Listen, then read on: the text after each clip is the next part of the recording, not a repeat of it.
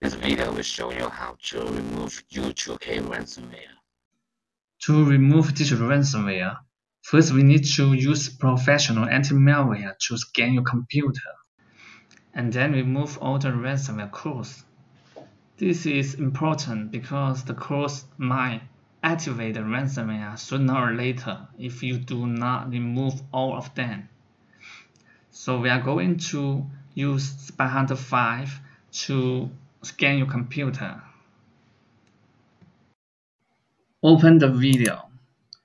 Click the link and video description and you will get a page. Now you can download SpyHunter here. And run the installer. Now you need to follow its steps to install SpyHunter 5 select language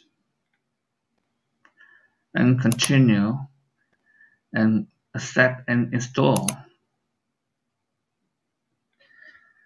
Just wait about one or two minutes.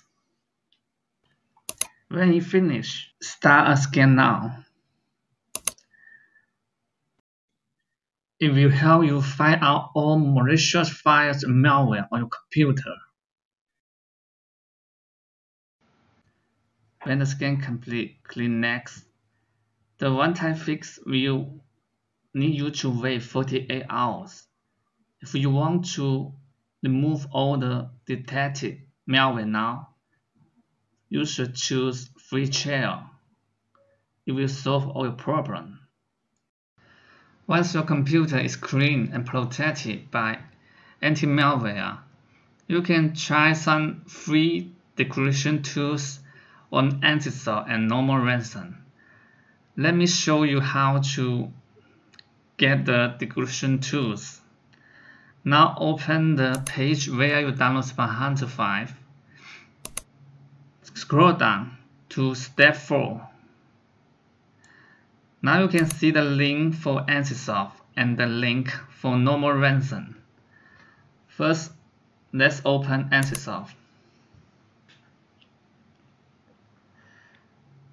Here you need to upload the ransom node, the encrypted file here, and then input the ransom contact information. This is in the ransom node. Let me show you. Here is the ransom node of ransomware. Okay, copy the contact here and input and paste it in here and click upload. Okay you now the Emsisoft have identified the ransomware is stop DJVU ransomware. Now click here. See the see more information about it. And jot down. Here are some decryption tools for the ransomware. You select one and download and then see if it can decrypt your files. Now let's try the No More Ransom. This is simple. Input the name of the ransomware for example DJVU okay if you found it click here and download the tool.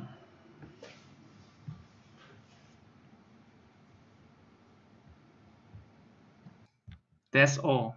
Thank you for watching the video from easysolvemalware.com we hope it solves your problem